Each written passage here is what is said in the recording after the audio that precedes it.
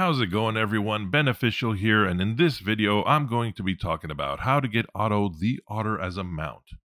First, in order to be cool enough for him to even consider you, you'll need to get the aquatic shades, which can be found in the immaculate sack of swag treasures sold by the Great Swag, which will cost you one gold coin of the Isles, which is equivalent to five silver coins of the Isles, or 75 copper coins. In order to get all these coins, you will need to do a lot, and I mean a lot of fishing. The good news is there are some ways to speed things up.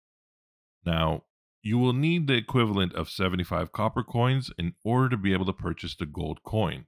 A silver coin is worth 15 copper, which means if you fish up any silver coins, then you just need the difference in copper coins to get the gold one.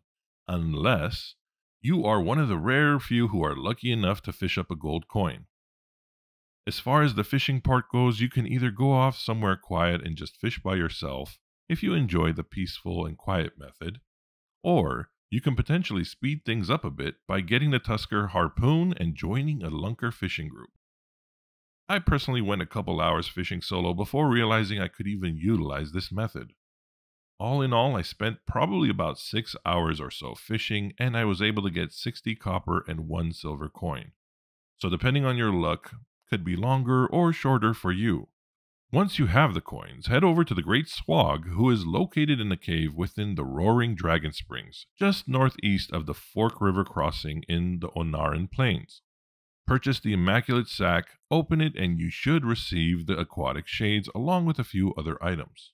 Next, take the shades and fly up to the Waking Shores and head to this area just north of the Obsidian Citadel.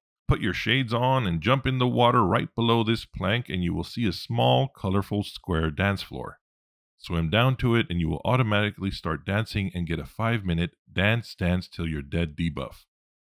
All you have to do is just wait for the debuff to run out, at which point you will pass out and wake up back on land. You will now have to grab the empty fish barrel that Otto conveniently left for you, and you will need to fill it with specific fish.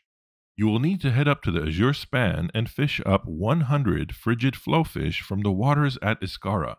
Once you have all 100, click the empty fish barrel to fill it up with the fish you caught. Once you do, you will see that the empty barrel is now a half-filled fish barrel. Next, you will need to fly back to the Waking Shores and fish up 25 calamitous carp in the lava pools located around the Obsidian Citadel. Once you have all 25, click the barrel again and it will now say Brimming Fish Barrel. The last fish you will need is called Kingfin the Wise Whiskerfish, which can be fished up in the waters at Algethar Academy in Thaldraszus. You will only need one of these, so once you have it, click the barrel one more time and it will now be an overflowing fish barrel. Finally, fly back to where you first got the empty barrel, walk to the spot where you first picked it up, click the barrel to place it down and Otto will appear. Interact with him and complete the quest to receive him as a mount. I hope you enjoyed this video and I will catch you next time. Goodbye.